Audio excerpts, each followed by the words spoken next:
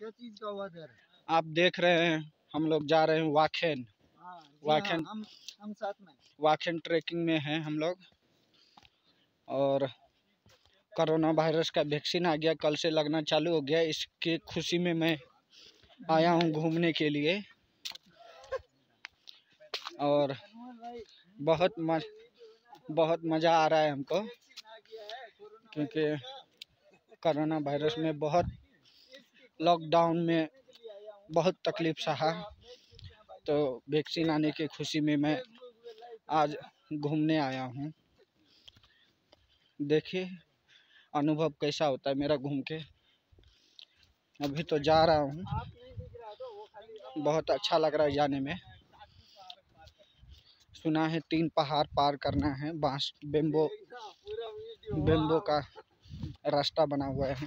अब मैं क्या करूँ? मेरा पाँव भी डगमगा रहा है। आप देख सकते हैं इस वीडियो में।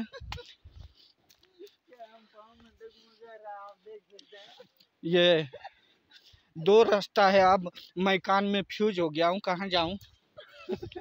पता नहीं। कौन सा नशा करते हैं?